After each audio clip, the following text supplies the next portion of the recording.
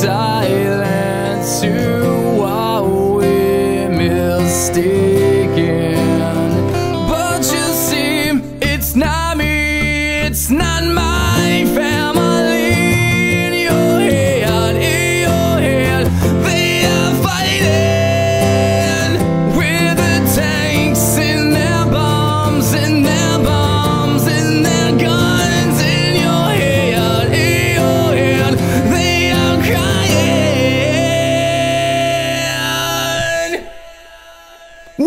in your head.